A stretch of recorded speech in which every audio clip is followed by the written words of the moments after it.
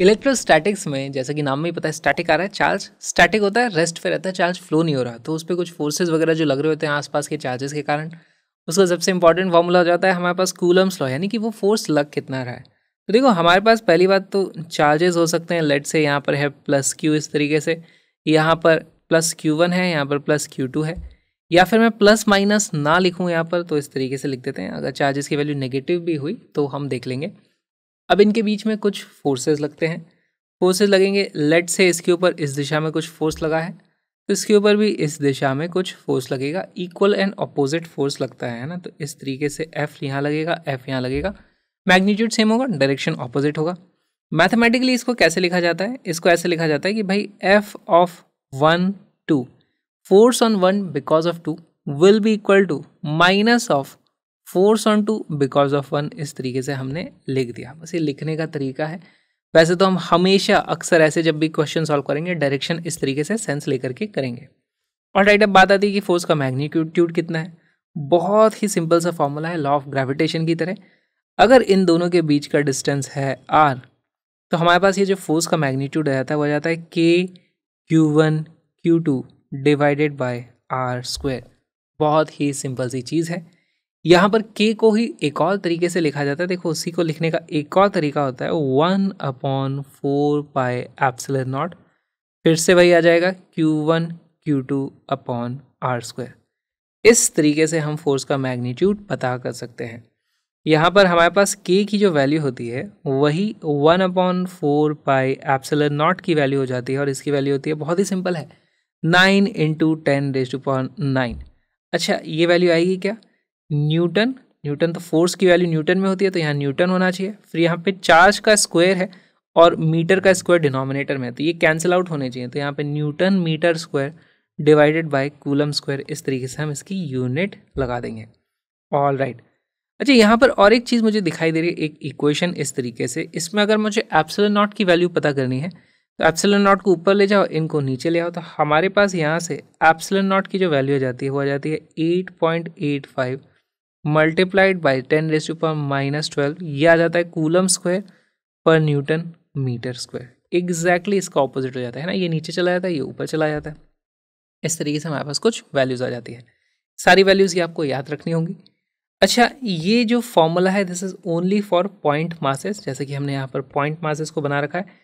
इसका कोई डेरिवेशन नहीं है ऑब्जर्वेशन बेस्ड हो गया हमारे लिए।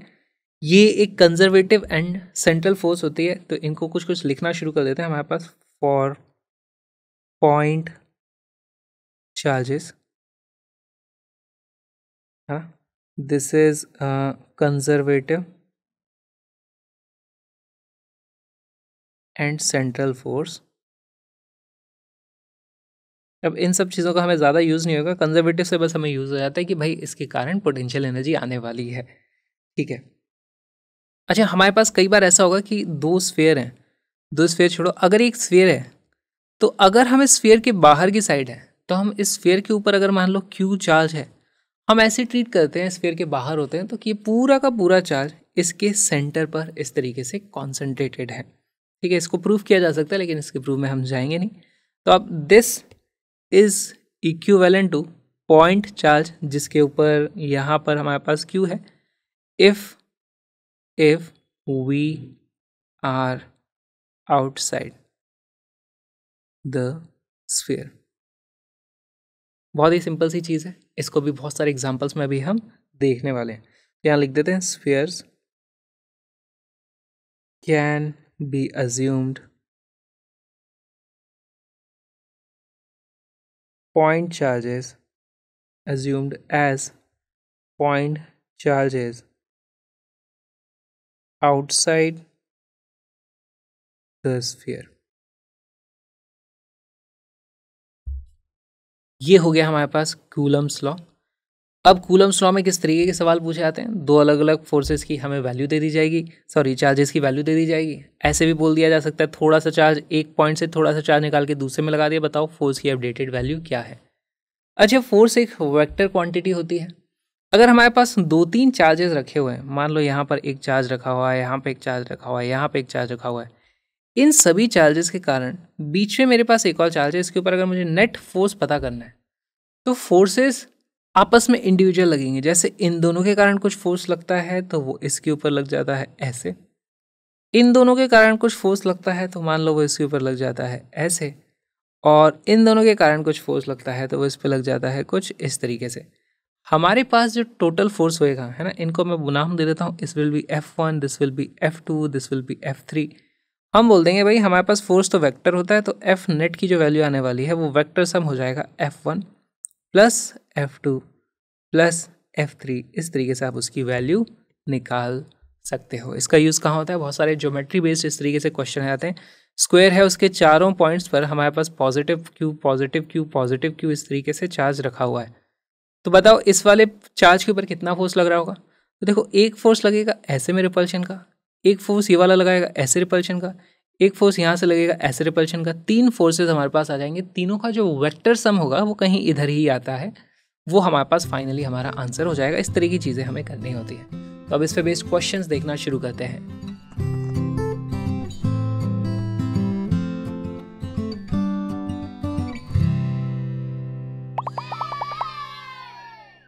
Two point charges, A and B having charges plus Q and minus Q respectively are placed at certain distance apart and force acting between them is F. तो हमारे पास देखो दो चार्ज हैं, एक यहाँ पे है प्लस क्यू यहाँ पर है मेरे पास माइनस क्यू इस तरीके से इन दोनों के बीच का कुछ डिस्टेंस होगा लेट से वो वैल्यू है आर पहली बात तो बताओ इन दोनों के बीच में फोर्स अट्रैक्शन का लगेगा रिपल्शन का? ऑपोजिट नेचर के चार्ज हैं, एक पॉजिटिव है, एक नेगेटिव है तो इसके ऊपर फोर्स लगेगा, इस तरीके से एफ़ इसके ऊपर भी लगेगा इस तरीके से फोर्स एफ़, और मैं एफ़ का मैग्नीट्यूड भी लिख सकता हूँ। एफ़ की वैल्यू कितनी हो जाएगी? K Q Q divided by R square दोनों चार्जेस का मैग्नीट्यूड सेम है। ऑपोजिट नेचर के हैं तो हमने ऑलरेडी डायरेक्शन यहाँ पे मेंशन कर दिया है भाई कि अट्रैक्शन का फोर्स लग रहा है। हमें यहाँ पे प्लस माइनस प्लस माइनस करने की ज़रूरत नहीं है। अब देखो if twenty five percent of charge A is transfer to B तो यहाँ से हमने कितना इस तरफ़ ट्रांसफ़र कर दिया है? Twenty five percent which is Q by four तो अब हमारे पास नया फोर्स की जो वैल्यू होगी, वो कुछ चेंज हो जाएगी। हमें बताना है कि द नेट फोर्स फाइनली कितना हो जाता है। एग्जैक्ट सेम क्वेश्चन हमने ग्रेविटेशन में भी किया था। वहाँ पर मास हुआ करते थे मासेस को ट्रांसफ़र कर दिया था। सेम चीज़ इलेक्ट्रोस्टैटिक में भी होती है, क्योंकि फॉर्मूला फोर्स का एकदम सेम है। वीडियो को पॉज करो क्वेश्चन को सॉल्व करो।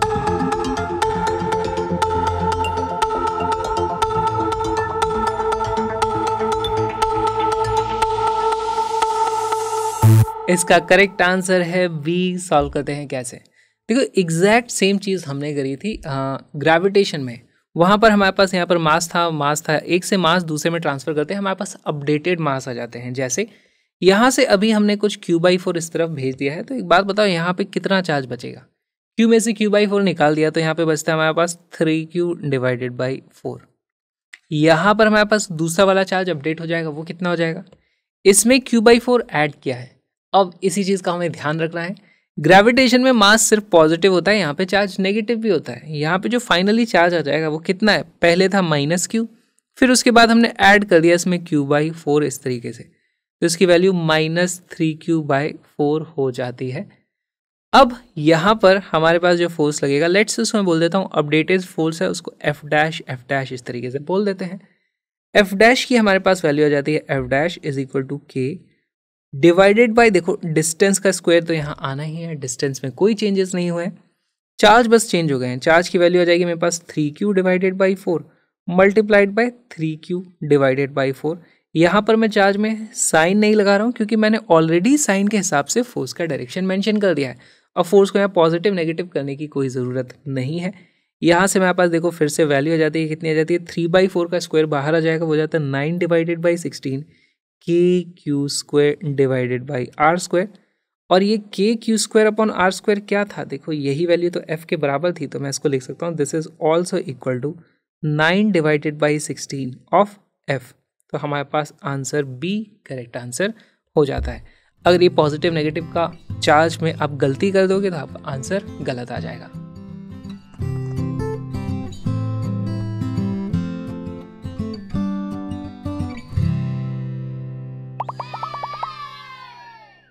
Two pith balls carrying equal charges are suspended from a common point by string of equal length. तो हमारे पास ये जो स्ट्रिंग्स हैं, उनकी लेंथ इक्वल है। The equilibrium separation between them is R हमारे पास इन दोनों के बीच में सेपरेशन आर है। ठीक है। Now the strings are rigidly clamped at half the height अब ये इंपॉर्टेंट चीज़ है। यहाँ पे देखो क्या लिखा है? एट हाफ़ द हाइट हमें एक तरीका तो ये होता है कि भाई रस्सी का जो मिड पॉइंट है, उसको मैं यहाँ लाता है इस रस्सी का मिड पॉइंट है, उसको यहाँ लाता, दोनों को बाँध देता है यहाँ पे क्लैम कर देता है किसी तरीके से। तो हम बोलते हैं कि रस्सी के हाफ़ लेंथ से हमने क्लैम कर दिया है। इन्होंने बोला है हाफ़ द हाइट हाइट मतलब अगर ये वाली हमारे पास हाइट थी वाई पता नहीं मुझे रस्सी कितनी लंबी है, उससे मुझे कोई लेना देना नहीं है। अब की बार उसको मिडवे से क्लैम कर दिया गया है और मिडवे भी नीचे से हम देख रहे हैं। अब ये वाली जो लेंथ है, ये मेरे पास बचती है वाई डिवाइडेड बाई टू इस तरीके से। अब बताओ भाई, नया इक्विलिब्रियम जो डिस्टेंस है नया इक्विलिब्रियम सेपरेशन जिसकी वैल्यू ऑब्वियसली आर नहीं हो सकती तो इसको मैं लिख दूँगा भाई, यहाँ पर आर डैश आर डैश की वैल्यू कितनी होने वाली है? तो यहाँ पर देखो, हमारे पास इनके ऊपर चार्ज चेंज नहीं होगा, इनके बीच का डिस्टेंस चेंज होने वाला है, इनके ऊपर और कौन से फोर्स लग रहे होंगे? नीचे लगा होगा एम जी इस तरफ़ लगा होगा टेंशन टी इस तरफ़ लगा होगा रिपल्शन इलेक्ट्रोस्टैटिक रिपल्शन का फोर्स एफ़ सेम चीज़ यहाँ हुई होगी, यहाँ पे भी लगी होगी टेंशन टी यहाँ पे भी लगा होगा एम जी तो ये इक्विलिब्रियम में है, यानी इन तीनों का सम हमारे पास बराबर आ रहा है। बहुत अच्छा सवाल है सेम चीज़ आपको यहाँ पे रिपीट करनी होगी वीडियो को पॉज करें क्वेश्चन को सॉल्व करें।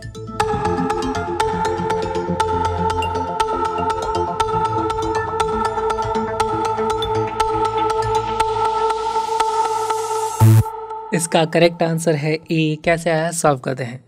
तो देखो, यहाँ पर हमें करना क्या है? पहले फोर्सेस ड्रॉ कर लेते हैं। यहाँ पर इनके बीच में पहली बार तो कुछ रिपल्शन का फोर्स लग रहा होगा इस तरीके से। यहाँ पर फिर से इनके बीच में कुछ रिपल्शन का इस तरीके से फोर्स लग रहा होगा। रिपल्शन का फोर्स अलग अलग हो जाएगा क्योंकि इन दोनों के बीच का डिस्टेंस अब बदल चुका है। ठीक है। अच्छा वो रिपल्शन का फोर्स कितना होगा इसको हम कैसे पता कर सकते हैं? देखो, इनका इलेक्ट्रोस्टैटिक फोर्स भले ही बदलता रहा, इसका एक एम होने वाला है जो नीचे की तरफ़ लगेगा यहाँ भी एम लगेगा, नीचे की तरफ़ यहाँ भी लगेगा एम नीचे की तरफ़, यहाँ भी लगेगा एम नीचे की तरफ़। ठीक? उसके बाद में हम देखो, हमारे पास ये वाला आर है, हमारे पास ये वाले वाई की वैल्यू है। तो मैं बोल सकता हूँ, भाई, ये वाला हमारे पास आर बाई टू हो जाता है, ये वाई हो जाता है। यहाँ पर ये आर डैश बाई टू होगा, ये वाई बाई टू है। तो हमारे पास एक यहाँ पर एंगल इंपॉर्टेंट सा बनता हुआ दिखाई दे रहा है। अगर मैं इसकी बात करूँ कि ये एंगल थीटा है और ये वाला एंगल थीटा डैश है। इन थीटा के बारे में हम कुछ बात कर सकते हैं। जैसे अगर ये वाला एंगल थीटा है और यहाँ पर हमारे पास टेंशन लग रही है तो मैं लिख सकता हूँ टेंशन का कॉस थीटा टेंशन का cos theta will be equal to T cos theta will be equal to जो हमारे पास इलेक्ट्रोस्टैटिक फोर्स लगने वाला है, उसकी वैल्यू कितनी हो जाएगी? K Q square divided by R का स्क्वायर टेंशन का जो साइन थीटा हो जाएगा, जो ऊपर की तरफ़ यहाँ पे लग रहा होगा, इस तरीके से ये हो जाएगा टी साइन थीटा। इसकी वैल्यू जाती है T sine theta is equal to M G अगर मैं इन दोनों को डिवाइड कर दूँ तो देखो मेरे पास क्या चीज़ आ जाती है? टेन थीटा की यहाँ से वैल्यू आ जाती है। Tan theta is equal to M G divided by K Q square divided by R square यहाँ पर दोनों ही केसेस में अगर हम बात करें तो थीटा की वैल्यू चेंज हो रही है। मास चेंज नहीं हो रहा, जी चेंज नहीं हो रहा, के चेंज नहीं हो रहा, क्यू चेंज नहीं हो रहा, आर की वैल्यू चेंज हो रही है। यहाँ पर हम एक और चीज़ देखते हैं कि भाई मैं लिख सकता हूँ अब tan theta is proportional to R square इस तरीके से मैं लिख सकता हूँ। अब यहाँ पर देखो टेन थीटा को इस ट्राइंगल में भी हम कुछ देख सकते हैं। इसकी वैल्यू होती है। अभी के लिए मैं इस चीज़ को बोल देता हूँ। ये मेरे पास मान लो हाइट एच है। हाइट एच यानी जहाँ पर ये रस्सी जाके बंदी है, थोड़ी देर बाद हाइट एच हमारे पास ये हो जाएगी। अभी के लिए हमारे पास हाइट एच ये है। तो इसे लिखा जा सकता है भाई H divided by R by two है ना? टेन थीटा की वैल्यू क्या हो गई? H divided by R by two will be equal to M G upon K Q square into R square R square ऊपर चला गया। यहाँ से मुझे एक चीज़ पता चल जाती है भाई H comes out to be proportional to R cube इस तरीके से हम देख सकते हैं। देखो ये आर बाई टू का आर भी इधर चला जाएगा। H is proportional to R cube हमें देखने को मिलता है। फिर हमने किया गया है? ये रिलेशन आ गया, उसके बाद मुझे सोल्यूशन मिल जाएगा। हमने एच की वैल्यू में चेंज कर दिया है। एच की वैल्यू पहले वाई थी, बाद में वाई बाई टू हो गई है। उसके हिसाब से हमारे पास आर की अलग अलग वैल्यूज़ देखने को मिलेगी। तो यहाँ से मैं लिख सकता हूँ Y upon Y by two will be equal to R upon R dash का, इस तरीके से। और राइट यहाँ से y से y इस तरीके से कट जाता है। हमारे पास वैल्यू आ जाती है two is equal to R divided by R dash की पार इस तरीके से थ्री यहाँ से मुझे आर डैश की वैल्यू पता करनी है तो इसके लिए मैं कर दूँगा भाई टू का क्यूब रूट हम ले लेंगे इस तरीके से थ्री तो ये आ जाता है मेरे पास R divided by R dash या फिर मैं लिख सकता हूँ रेडियस आर डैश जो हमें बाद में पता चाहिए। रेडियस नहीं है ये इट्स आर डैश इसकी जो वैल्यू आ जाती है this will be equal to R upon two का cube root which is option A तो बहुत ही अच्छा सवाल था। हमें रिलेशन निकालना था भाई कि ये वाला जो आर होता है और ये जो हाइट होती है, इसके बीच में रिलेशन क्या है? तो हमने टेंशन का इस्तेमाल किया। हमने एक एंगल लेकर थीटा टी कॉस थीटा को हमने इससे इक्वेट कर दिया, जो हमारे पास फोर्स लग रहा था। टी साइन थीटा को हमने एम जी से इक्वेट कर दिया। दोनों को डिवाइड किया तो टेन थीटा की वैल्यू मेरे पास कुछ आ जाती है, जो कि आर का फ़ंक्शन है। यहाँ पे देखो मास ग्रेविटी के क्यू सब कुछ सेम रहने वाला है। फिर हमने ऑल्सो ये देखा कि भाई टेन थीटा ट्राइंगल में इस एच डिवाइडेड बाई आर से भी निकाला जा सकता है तो हमने वही वैल्यू यहाँ पर रख दी। यहाँ से हम देखते हैं कि भाई H proportional to R cube आ जाता है, क्योंकि बाकी सब कुछ कॉन्स्टेंट है। हमारे पास दो अलग अलग वैल्यू ऑफ़ एच हैं, जैसे कि Y and Y by two उसके हिसाब से आर की भी दो अलग अलग वैल्यूज़ हो सकती हैं। यहाँ से हमें आर डैश की वैल्यू इस तरीके से मिल जाती है। बहुत ही अच्छा ये सवाल था।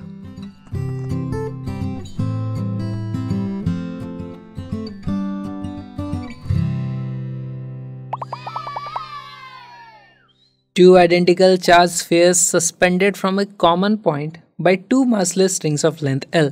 are initially at distance D D is much much larger than L ये हमें दिया हुआ है। तो साथ के साथ हम डायग्राम बनाते चलेंगे। एक्चुअली थोड़ा इंटरेस्टिंग सा सवाल है हमारे पास। डी की वैल्यू क्या है? ये हमारे पास लेंथ है common point length L initially at a distance D हमारे पास इन दोनों के बीच का एक डिस्टेंस है डी और ये लेंथ एल इस तरीके से हमें दी हुई है। ठीक। ये इनके बीच में जो डी का डिस्टेंस है वो क्यों है? इनका म्यूचुअली कुछ रिपल्शन हो रहा है तो हमारे पास यहाँ पर मान लो ये इस तरीके से कुछ चार्ज रखे हुए हैं। इस तरीके से इसके ऊपर कुछ ऐसे फोर्स लग रहा होगा, इसके ऊपर कुछ इस तरीके से फोर्स लग रहा होगा, उसके कारण हमारे पास यहाँ पे रिपल्शन देखने को मिलता है। The charges begin to leak from both the spheres at a constant rate ठीक है? As a result the sphere approach each other with velocity V then V varies as a function of the distance X between the spheres तो यहाँ पर x कहाँ आ गया? D था D की जगह आई थिंक एक्स रहा होगा। तो आप डी की वैल्यू डी लिखो या एक्स लिखो क्वेश्चन में थोड़ा सा यहाँ पे कन्फ्यूज़न हो गया है। दिस इज़ एक्स मान लो। तो पहले समझते हैं क्वेश्चन में हो क्या रहा है। भाई, इनके बीच में कुछ यहाँ पर फोर्स लग रहा होगा रिपल्शन का तो इस तरीके से ये लोग मेंटेन थे। कुछ डिस्टेंस रहता है। क्योंकि यहाँ पर नीचे एम लग रहा होगा, यहाँ पर टेंशन लग रही होगी। कुछ इस तरीके से इक्विलिब्रियम हमारे पास आ जाता है। फिर क्या होता है? फिर हमारे पास इनका चार्ज का लीक होना शुरू हो जाता है। लीक हो रहा है मतलब कहीं गया वो, उड़ गया हवा में। ठीक है, उड़ रहा है हवा में, गायब नहीं हो जा रहा कहीं तो जा रहा है ट्रांसफ़र हो रहा है, कोई बात नहीं लीक हो जाता है इस तरीके से। अब लीक हो जाएगा तो ये रिपल्शन का फोर्स कम हो जाएगा। रिपल्शन का फोर्स कम हो जाएगा, नीचे एम तो लग रहा था तो वो ऐसे अलग अलग क्यों रहेंगे? वो साथ में आ जाएँगे। अब यहाँ पे बोला जा रहा है कि भाई, अगर वो साथ में आ रहे हैं तो आप ये मानो कि ये स्ट्रेट लाइन में ही आ रहे हैं, कि ऐसा क्यों मान सकते हैं? क्योंकि एल की वैल्यू बहुत बड़ी है। तो अब ये साथ में आ रहे हैं, पास आ रहे हैं तो इनकी कुछ वेलोसिटी है इस तरफ़। वो वेलोसिटी और एक्स के बीच में रिलेशन क्या होगा? थोड़ा सा अजीब सा सवाल है। वीडियो को पॉज करो, थोड़ा एक बार सोचो इसको अप्रोच कैसे करना है। तो यहाँ पे मैं बता देता हूँ, एक चीज़ हमें लिखनी है, यहाँ पे क्या लिखा है कि charge begins to leak at a constant rate इसका मतलब क्या है? इसका मतलब अगर इसमें चार्ज था क्यू इसमें भी चार्ज होगा Q charge begins to leak मतलब वो कम होता जा रहा है। तो यहाँ पे मैं लिख सकता हूँ by D Q by D T ये क्या हो गया? समय के साथ चार्ज के बदलने की रेट ये एक नेगेटिव कांस्टेंट होने वाला है। ये मैंने आपको एक हिंट दे दी। अब वीडियो को पॉज करो क्वेश्चन को सॉल्व करने की कोशिश करो।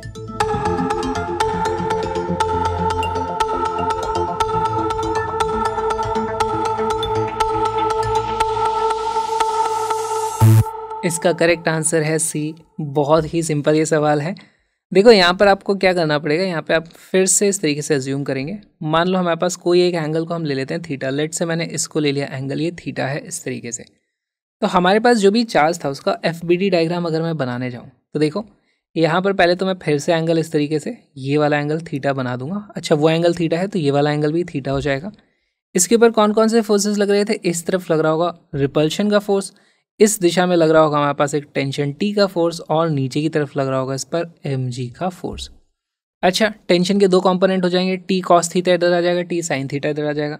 चलो लिख देते हैं भाई, क्या लिखेंगे हम? T sine theta is equal to F force की वैल्यू कितनी है? K Q square divided by distance कितना है यहाँ पर? एक्स तो एक्स का स्क्वायर यहाँ कर देंगे इक्वेशन नंबर वन दूसरी इक्वेशन मेरे पास कहाँ से आ जाएगी? वाई डायरेक्शन में बैलेंस करेंगे तो हमारे पास आ जाता है टी का cos theta is equal to M G this is equation number two हमें कोई लेना देना नहीं है। हमें टैन थीटा की वैल्यू चाहिए। टैन थीटा की वैल्यू क्यों चाहिए? क्योंकि ना मुझे टी चाहिए, ना मुझे थीटा चाहिए। पर टैन थीटा को मैं एलिमिनेट कर पाऊँगा, क्योंकि यहाँ ही पे टैन थीटा को लिखने का और एक तरीका है। टैन थीटा को यहाँ पर मैं लिख सकता हूँ। Approximately equal to sine theta वो आ जाएगा मेरे पास L into X by L divided by X by two upon L इस तरीके से। अभी देखते हैं उसको कैसे। तो यहाँ पे दोनों को डिवाइड कर देते हैं पहले। यहाँ से मुझे मिल जाता है भाई टैन थीटा इसकी वैल्यू कितनी आ जाती है? ये आ जाता है K Q square upon X square M G हमारे पास टेन थीटा की वैल्यू आ गई। अब देखो यहाँ पर कुछ एक हमें ये वैल्यू दी हुई है कि भाई D is much much lesser than L यानी कि हम बोल सकते हैं थीटा की वैल्यू बहुत छोटी होगी। थीटा की वैल्यू छोटी होगी तो टेन थीटा को approximately equal to sine theta मैं कर सकता हूँ। करना ही पड़ेगा, इसीलिए इन्होंने ये चीज़ दी है। और जैसे ही मैं इसको approximately equal to sine theta कर देता हूँ, देखो यहाँ पर इस वाले ट्राइंगल में बताओ मुझे साइन थीटा की वैल्यू कितनी हो जाती है। वो हो जाती है टोटल एक्स था तो ये हो जाता है मेरे पास एक्स बाई टू और ये है एल इसकी जो वैल्यू हो जाएगी, ये साइन थीटा की वैल्यू हो जाती है मेरे पास X divided by two upon L बहुत ही सिंपल यहाँ से मेरे पास एक्स के बीच में और चार्ज के बीच में कुछ रिलेशन आ जाता है। किस तरीके से आ जाता है? देखो, मैं लिख सकता हूँ Q square is equal to ध्यान से देखना, इसकी वैल्यू जाती है एम जी एक्स का cube divided by two L K है ना? यहाँ से एक्स स्क्वायर उस तरफ़ चला गया। डिनोमिनेटर में टू एल हो जाएगा, ये टू नीचे आ जाएगा के की वैल्यू भी नीचे आ जाएगी एम जी भी ऊपर चला जाएगा, ये हमारे पास कुछ रिलेशन आ जाता है। इसको हमें डिफ्रेंशिएट करना पड़ेगा। तो इसको ऐसे कैसे डिफ्रेंशिएट अभी नहीं करेंगे। हम इसको लिख देंगे भाई। यहाँ से मैं लिख देता हूँ Q is equal to some constant आ जाएगा वो M G upon two L K इसका कुछ अंडर रूट आ जाएगा। इसकी कुछ भी वैल्यू हो सकती है। मल्टीप्लाइड बाय एक्स की पावर थ्री बाई टू आ जाता है। ठीक? इसको कर दो डिफ्रेंशिएट इसको डिफ्रेंशिएट करते ही क्या आ जाता है? मेरे पास लेफ़्ट हैंड साइड पे आ जाता है D Q upon D T with respect to time T कर रहे हैं। बाकी सारा का सारा तो हमारे पास कांस्टेंट रहने वाला है। तो इसकी कुछ तो वैल्यू आ जाएगी। ऐसे ही लिख देता हूँ मैं अभी इसकी वैल्यू भाई M G upon two L K कुछ भी ये वैल्यू है। इसकी वैल्यू में कोई चेंज नहीं होने वाला है कॉन्स्टेंट है ये। यहाँ एक्स की पावर थ्री बाई टू इसको डिफ्रेंशिएट करो। ये जो थ्री बाई टू है, वो आगे आ जाता है हमारे पास। यहाँ पर आ जाएगा थ्री बाई टू इस तरीके से। Multiplied by X raise to power अब three by two minus one करेंगे तो बचता है हमारे पास वन बाई टू तो D Q upon D T की वैल्यू आ जाती है X raise to power one by two multiplied by D X upon D T अब मुझे बताओ, यहाँ पर कुछ हमारे पास इस तरीके से वैल्यूज़ आ जाती है। हमसे क्या पूछा था? अच्छा यहाँ पे माइनस नहीं है दिस इज़ मल्टीप्लीकेशन ठीक है। हमसे पूछा है वेलोसिटी बताओ। वेलोसिटी किस चीज़ के प्रोपोर्शनल यहाँ दिखाई दे रही है? देखो, हमें बता दिया D Q by D T ये कॉन्स्टेंट टर्म है। हमें बता दिया, हमें तो ये पता ही है, ये कॉन्स्टेंट आ रहा है, सब कुछ कॉन्स्टेंट है। क्या यहाँ से मैं लिख सकता हूँ? D x by d t है ना? यहाँ से मुझे पता चल जाता है d x upon d t is proportional to x raise to power minus one by two इस तरीके से। क्योंकि बाकी सब कुछ यहाँ पर कांस्टेंट है। कांस्टेंट कांस्टेंट कांस्टेंट सब कुछ कांस्टेंट ये दूसरी तरफ़ जाएगा तो उसकी power minus one by two हो जाएगी और हमारे पास आंसर आ जाएगा, भाई वेलोसिटी जो है, जो कि d x upon d t है will be proportional to x h to power minus one by two and C becomes our correct answer. थोड़ा अलग टाइप का सवाल था, पर अच्छा सवाल था। ऐसे सवाल आने के चांसेस कम हैं, पर ये एक पी वाई क्यू ही है तो पूछा तो जा चुका है। हम तैयार रहेंगे।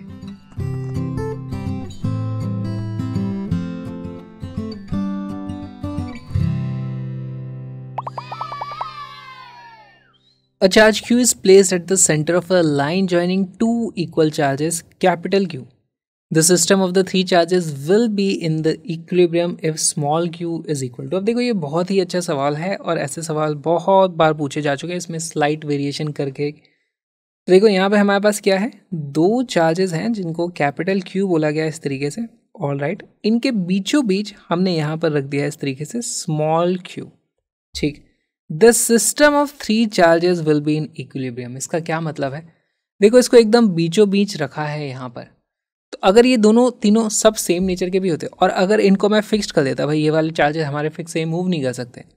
तो एक इसको इधर रिपेल करता, दूसरा इसको इधर रिपेल करता, ये तो हमेशा कैंसिल आउट हो जाते तो ये हमेशा सिस्टम इक्विलिब्रियम में रहता। लेकिन यहाँ पर बात क्या है कि इनको भी फिक्स करके रखा हुआ नहीं है, ऐसा कहीं नहीं लिखा है कि दे आर फिक्स्ड इसका मतलब सब कुछ इक्विलिब्रियम में सब कुछ इक्विलिब्रियम में, यानी अगर इसके ऊपर नेट फोर्सेस देखें तो वो भी ज़ीरो आने चाहिए। इसके ऊपर नेट फोर्सेस देखें तो वो भी ज़ीरो आने चाहिए। इसके ऊपर नेट फोर्सेस कैसे देखेंगे? क्योंकि ये दोनों प्लस क्यू मतलब दोनों सेम चार्ज हैं क्यू की वैल्यू प्लस है कि माइनस मुझे नहीं पता, पर सेम है। तो इन दोनों के बीच में तो रिपल्शन हो रहा है, ये तो बात पक्की है। अगर ये उतना ही इसे अट्रैक्ट कर ले तो इस वाले को भी उतना ही अट्रैक्ट करेगा तो हो सकता है ये भी हमारे इक्विलिब्रियम में आ जाए। ये वाला तो सिमेट्री के कारण हमेशा ही इक्विलिब्रियम में आने वाला है। अगर ये डिस्टेंस दोनों बराबर है तो हमेशा इक्विलिब्रियम में रहेगा। तो हमें बेसिकली सबका इक्विलिब्रियम की यहाँ पर ज़रूरत है। बहुत अच्छा ये सवाल हो गया। वीडियो को पॉज करो क्वेश्चन को सॉल्व करो।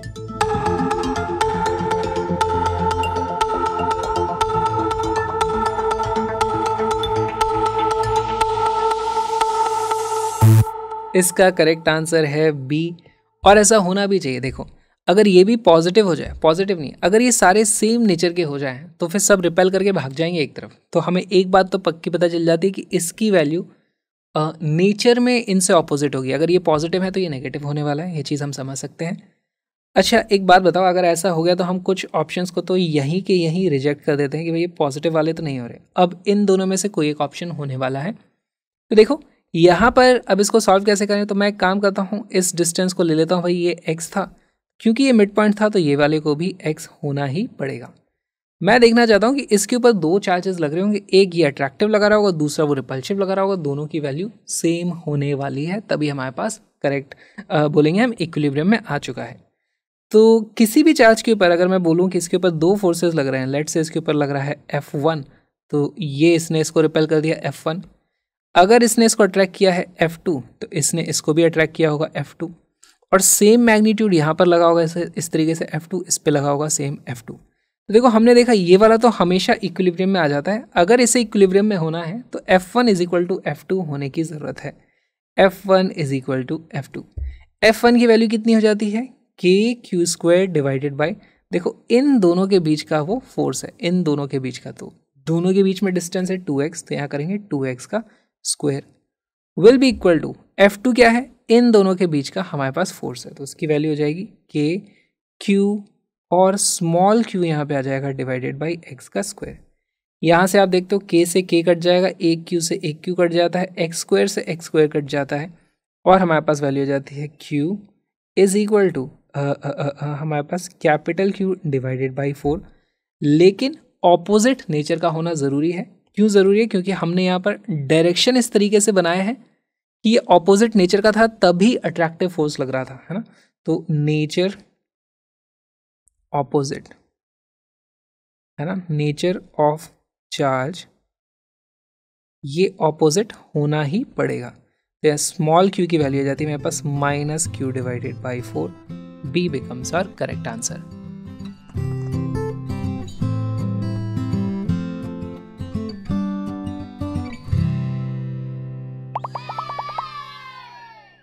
Two positive ions, each carrying a charge q, are separated by a distance d. If F is the force of repulsion between the ions, the number of electrons missing from each ion will be. अब ये बहुत ही अच्छा सवाल हो गया। कुछ भी अच्छा नहीं है बस मैं बोल दिया कि फोर्स की वैल्यू F है। अगर हमारे पास दो आयन्स हैं इन दोनों के बीच का जो डिस्टेंस है वो हमें डी दिया हुआ है। हमसे पूछ लिया चार्ज नहीं पूछा इन्होंने। इन्होंने बता दिया कि भाई इनके बीच में रिपल्शन होगा क्योंकि सेम आयन है तो सेम चार्ज होगा इनके पास। तो रिपल्शन का फोर्स हमारे पास लगने वाला है। मान लो इनके पास चार्ज था क्यू तो इसके पास भी चार्ज होगा क्यू क्योंकि सेम आयन है। बस यहाँ पे क्वांटाइजेशन का इस्तेमाल कर लिया है। क्यू की वे जो वैल्यू होगी वो प्लस माइनस एन ई के बराबर होने वाली है। यही यहाँ पर ट्रिक थी। क्वांटाइजेशन ऑफ़ चार्ज का इस्तेमाल कर लिया। चार्ज इलेक्ट्रॉन के मल्टीपल्स में होता है। बस यही पूछ लिया number of electron missing from each ion इस तो यानी कि ये पॉजिटिव हमारे पास इस तरीके से आयन्स हो गए। तो हमें बस इस चीज़ का इस्तेमाल करके सॉल्व करना है। वीडियो को पॉज करो क्वेश्चन को सॉल्व करो।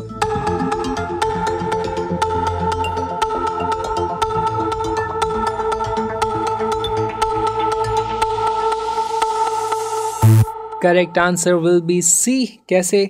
देखो, हमारे पास फोर्स की वैल्यू आ जाने वाली है के अब के नहीं लिखूँगा। देखो, मैं इसको लिखूँगा फोर पाई एप्सिल नॉट के टर्म में। तो वह आ जाता है मेरे पास one upon four pi epsilon naught multiplied by charge दोनों का कितना है? एक का एन ई है, दूसरे का भी एन ई है इस तरीके से।